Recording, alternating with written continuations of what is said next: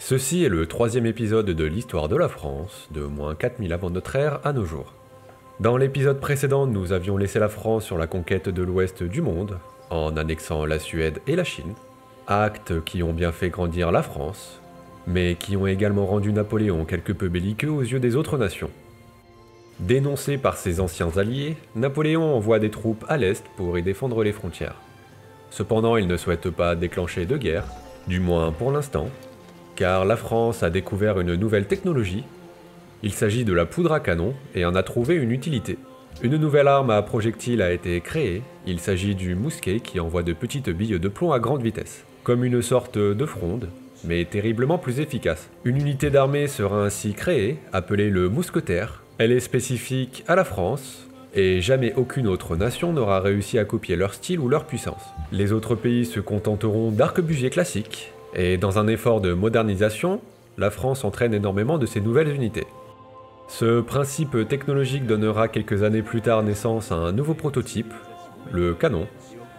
C'est un genre de gros mousquet qui balance de grosses billes de plomb de plusieurs kilos à une grande distance.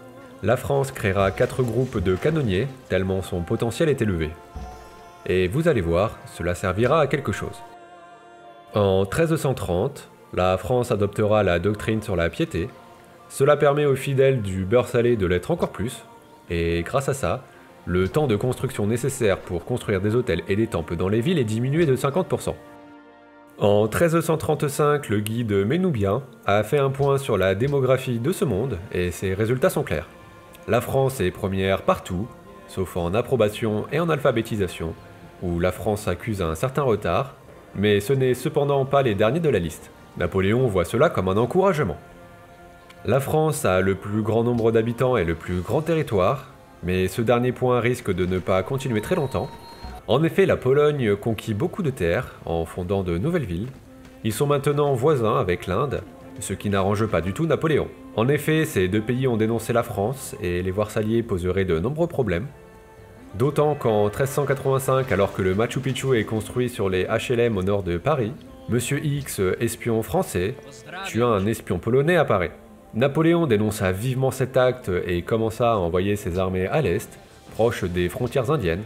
Elles iront y stationner pour une centaine d'années, jusqu'à ce que la guerre soit déclarée en 1460, car l'Inde, voyant des troupes tout autour de ses territoires, commença à comprendre que quelque chose d'étrange se passait. Napoléon hésita un moment, pensant qu'il était mieux de mentir et de dire qu'il s'agissait d'un acte de dévotion au beurre salé, mais il préféra finalement dire la vérité quant à ses envies de conquête. Fajiyawada tomba en 1465 facilement, grâce au nouveau canon. On retrouvera quelques mouettes mortes dues au tir de ces derniers, ce qui inspirera le fameux écrivain Anton Tchekhov et son célèbre récit Mouette. Bombay sera plus facile à tomber, mais Napoléon dira que c'était ok. La jungle ralentit les troupes françaises, mais une fois sur place, il ne fallut que 5 ans pour tomber la ville. Ainsi, en 1490, Bombay est tombé, et la France se verra forcée avec l'Inde de signer la paix. En effet, Gênes puis Lyon sont au proie aux manifestations, la population fout le bouxon, et les rebelles armés pillent les environs. C'est le début du siècle dit de galère, de nombreuses tentatives de révolution verront le jour.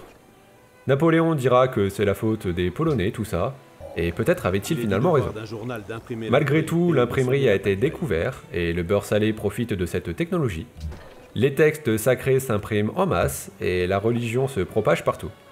Malgré tout, la population reste énervée. Napoléon ne comprend pas vraiment pourquoi.